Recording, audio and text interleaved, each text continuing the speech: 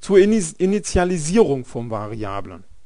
Iniz äh, Variablen initi initialisiert man mit Hilfe von sogenannten Literalen bzw. Ausdrücken.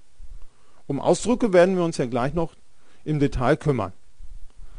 Als Literale bezeichnet man typspezifische Konstanten. Für boolsche Werte hatten wir solche Literale schon kennengelernt.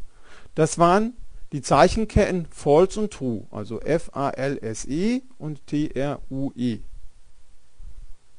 Für den Typ int, der die ganzen Zahlen repräsentiert, sind literale Zeichenketten aus Dezimalen, Oktalen oder hexadezimalen Ziffern. Wir werden uns eigentlich nur mit dezimalen Literalen auseinandersetzen.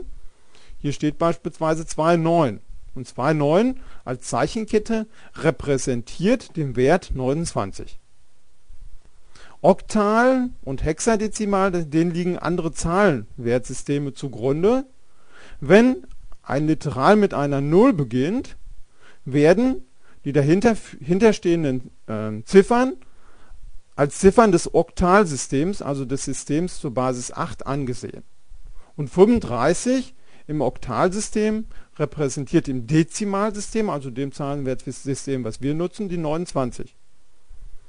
Und hier ist das Hexadezimalsystem. Wenn ein Literal mit 0x anfängt, werden die dahinterstehenden Ziffern und Zeichen als Hexadezimalzahlen interpretiert. Und 1d im Hexadezimalsystem repräsentiert den Wert 29 im Dezimalsystem. Das können Sie zunächst aber vernachlässigen. Wir kümmern uns hier eigentlich nur um Dezimalzahlen.